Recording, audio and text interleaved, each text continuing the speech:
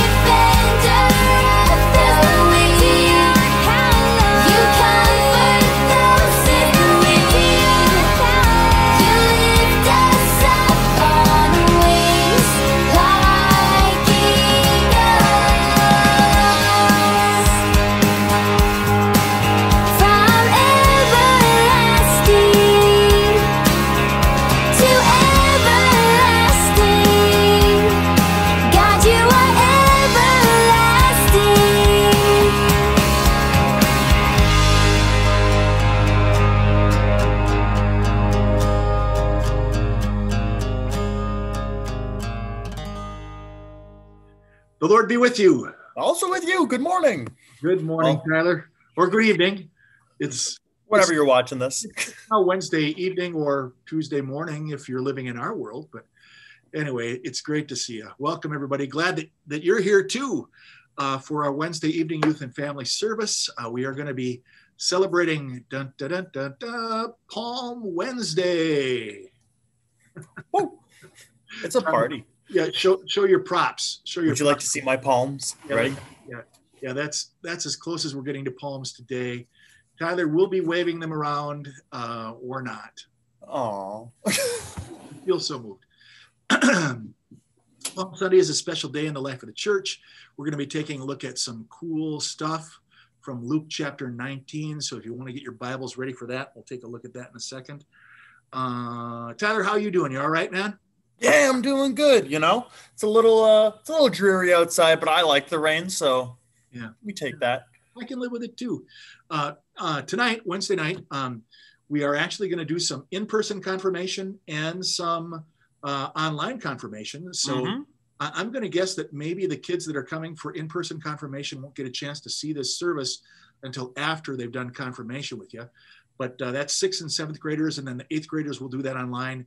Uh, eighth graders, real important that you're a part of that because we're going to be talking about your confirmation service that's coming up. So we want to talk about that some too.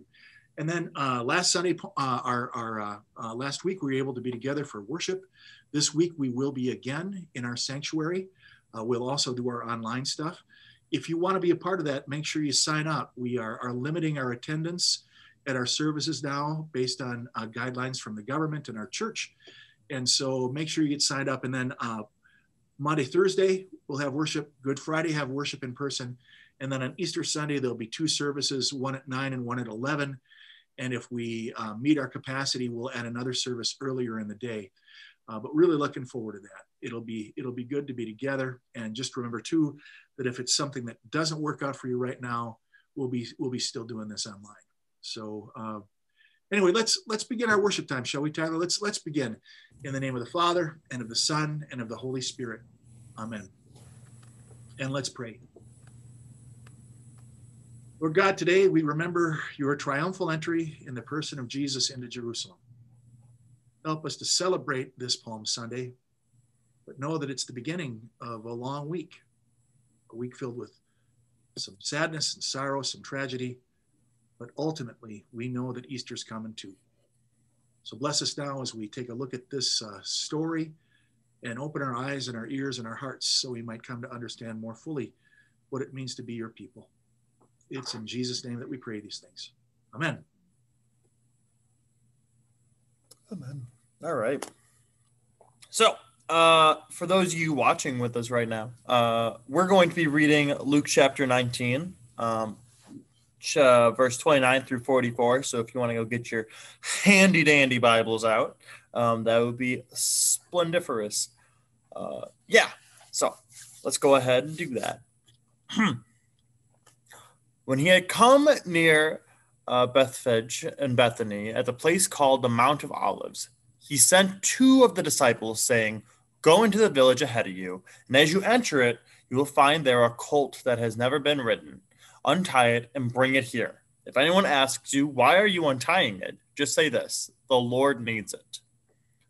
So those who were sent departed and found it as he told them. And as they were untying the colt, the owners asked him, Why are you untying the colt? And they said, The Lord needs it. Then they brought it to Jesus, and after throwing their clothes on the on their cloaks on the colt, they sent Jesus on it. As he rode along, people kept spreading their cloaks on the road. And now and as he was approaching as he was now approaching the path down from the Mount of Olives, the whole multitude of disciples began to praise God joyfully with a loud voice for all the deeds and power that they had seen, saying, Blessed is the King who comes in the name of the Lord, peace in heaven and glory in the highest heaven. Now, some of the Pharisees in the crowd said to him, Teacher, order your disciples to stop. And he answered, I tell you, if these were silent, the stones would shout out. As he came near and saw the city, he wept over it, saying, If you, even you, had only recognized on this day the things that make for peace, but now they are hidden from your eyes. Indeed, the days will come upon you when your enemies will set up ramparts around you and surround you and hem you in on every side. They will crush you into the ground, and you will you and your children within you, and they will not leave within you one stone upon another, because you did not recognize the time of your visitation from God. Thanks, Tyler. Let's uh, let's pray. Yeah. Your God, thanks for all the ways you show us your love. But today, we're grateful that you show us your love in the person of Jesus, who rode in Jerusalem knowing exactly what he would face. Help us to remember that he did it for us. It's in his name that we pray these things. Amen. so Tyler, you've been you've been hearing this story like me ever since you were just a little kid, huh? I mean, Oh yeah. so when when you when you think of the the Palm Sunday parade, what what comes to your mind? What what what captivates you the most about that that event? I so like the the image that always came to me was always when like it's always Jesus on a donkey, right? Yep. And he's riding into town, and I, I I always think of like massive crowds. Like in the scripture too, they talk about like there's tons of people that just kind of gather around on this road, um, and Jesus tends to draw a crowd. Like I, I didn't realize it until I kept reading more and more. But like he draws a crowd no matter where he goes. That guy is popular, and to the point that they're like laying down their coat. Like it's the equivalent of like, oh, there's a puddle in the road. We don't want you to get your feet wet. You know, and it's it's to like I don't know. It just feels very. It feels very red carpet. You know. Oh yeah, I hear you. Yeah. Yeah. So I don't know. What do you what do you see? What is what is what always caught your eye growing up with this? I just I just for me I I, I always envision kind of two things. I envision I envision that parade probably from uh, oh man the old movie I think it was Jesus of Nazareth, you know where where Jesus is riding on this this donkey and the people are waving and praising God and and and then the other image I have as I read the story is is all of the Palm Sunday parades I've either seen or been a part mm-hmm. of at church over these years, you know, and and the little kids walking around waving their palms and looking for their mom or dad and and you know the one little kid that doesn't want to wave their palm and has their thumb in their mouth and is crying because why are we doing this and and you know it's it's just uh you know it's it's those kind of how do we take that story and make it live for us today but the other the other thing that that kind of gets a hold of me is as I as I think of that crowd, I think, okay, there are some who are just excited, thrilled that Jesus is coming, but then there are others. You know, there are others who are behind the scenes going, uh, we cannot let this guy continue to have this level of authority and power and popularity. Uh, a guy that's that high and mighty, we got to knock him off his throne because there's only one person in charge in this town, and that's the Roman emperor, you know, through people like Pilate and others. And then close behind are the, the temple people, you know, who have their religious power. But but so so Jesus is coming in to, to almost fill this power vacuum that that doesn't really exist in their mind, right? There's no there's no room for this guy. There's no room for this guy. So that's that's kind of what I I are, are there any details in the story that, that strike you as cool or or curious? So I'm I want to go back two two inches before when you said like like you remember it like when going into churches, right? And like all the palms and things. Yeah. Because I had a really cool experience at one point where we at a church I went to, they just opened the new sanctuary yeah. on Palm Sunday. And so we went and marched from the old sanctuary to the new sanctuary as if it was the road from the Mount of Olives. And that was a really cool moment that I thought was just fun because we got to parade in. It was all hunky dory, right? But that was like a really awesome, I don't know, to me, that was a really cool moment where I'm just like, oh, this is this is that newness feeling. This is that like this is what they could have been feeling at the time, right? Yeah. Is this this overwhelming like, oh my gosh, this is a really cool thing. And then so that's that's what I want to add in there. But the thing that I that Jesus says to just tell them the Lord needs it, right? He, like they'll know, you know. It's just the Lord needs your donkey. Mm-hmm. The the the Lord said so. It's like oh okay, and they just it it happens, right? If if someone came up and your car was parked, right? And like Mike, it's like the car is parked. It's like, yeah, the Lord needs it. And it was like, oh, okay. so Tyler, I know that you, I know that you like theater and you, you like good, uh, good comedy. I always picture that almost like a SNL skit, right? So it's these these guys in their bathrobes, you know, walking up to this guy who is along the road with a donkey. It says, "Hey, we need your donkey." You need my donkey? you know, what are you talking about, my donkey? Yeah, the Lord needs it. Oh, sure. The Lord needs my donkey. And of course, of course. And so there is something quite comical about it. But on the other hand, he does it. I mean, it's for the Lord.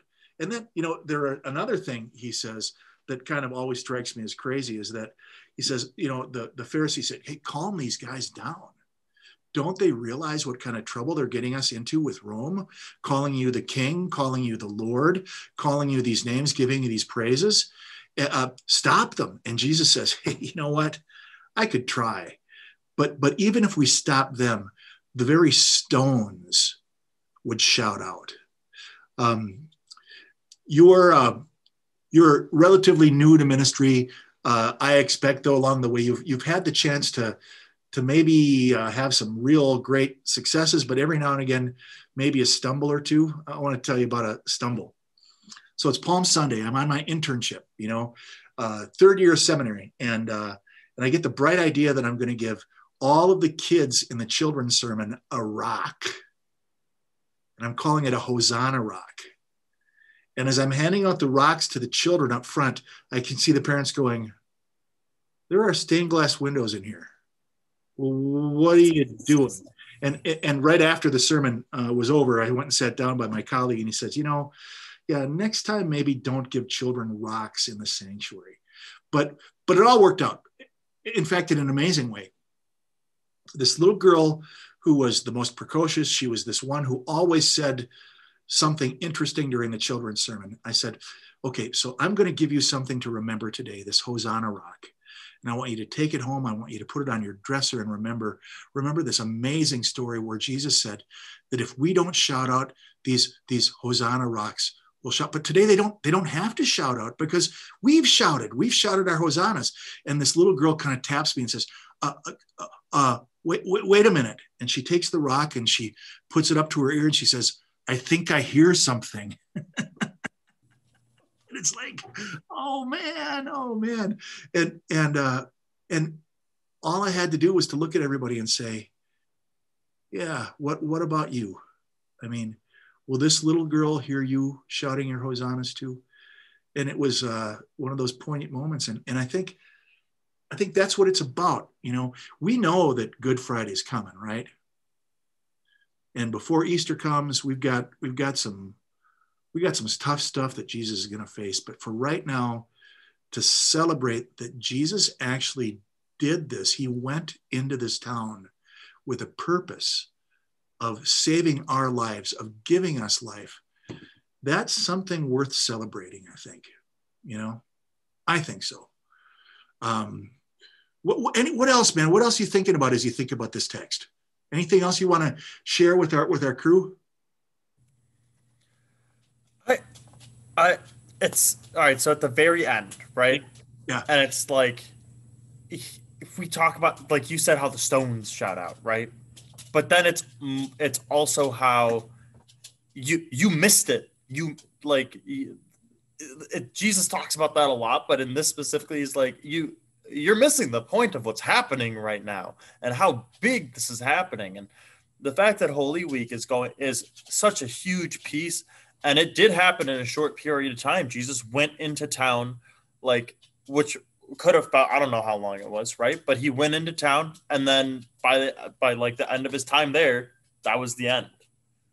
And this is that whole that whole piece where it's like you're missing why I'm here and what my purpose is and how it's it's there's I think there's a, a it's like uh, raise your eyes to the skies kind of idea. Like you're you're you you don't everything that you're looking down on is not what what exactly is happening. There's more there's more to this than what you see.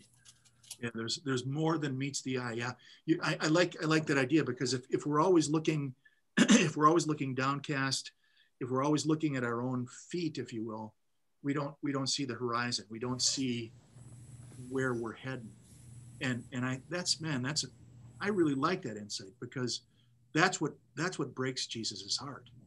You know, he sees this and he weeps and he says, "Man, if you if you only recognized, if you only saw um, the things that make for peace, I came to make peace and I will make peace, but it's going to be through a path of suffering and and uh, and it's it's real. Uh, man, I I like that insight, Tyler. I think that's that's really helpful to me. And I, I need I need that change of perspective too. I, I, think we all do.